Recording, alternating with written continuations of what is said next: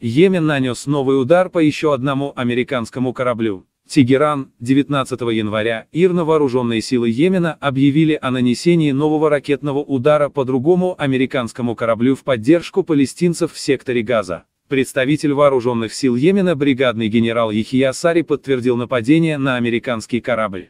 В заявлении, опубликованном в четверг, вооруженные силы сообщили, что нанесли удар по американскому кораблю Кэм Рейнджер в Аденском заливе соответствующими морскими ракетами, что привело к прямому попаданию. Между тем Центральное командование Соединенных Штатов Сентком заявило, что жертв или ущерба не было, когда йеменские силы нанесли удар по нефтяному танкеру, принадлежащему США, за последний месяц вооруженные силы и Йеменское народное движение сопротивления Ансарула нанесли множество подобных ударов по израильским судам или тем, которые направлялись в порты оккупированных палестинских территорий. Эти операции были описаны как ответ на войну, которую израильский режим ведет против Газа с 7 октября по настоящее время после операции, проведенной движениями сопротивления палестинской территории. На сегодняшний день в результате жестокого нападения погибло по меньшей мере 24 620 палестинцев, около 70% из которых составляют женщины, дети и подростки. Соединенные Штаты и Великобритания также нанесли несколько ракетных ударов по йеменским объектам в ответ на удары йеменцев.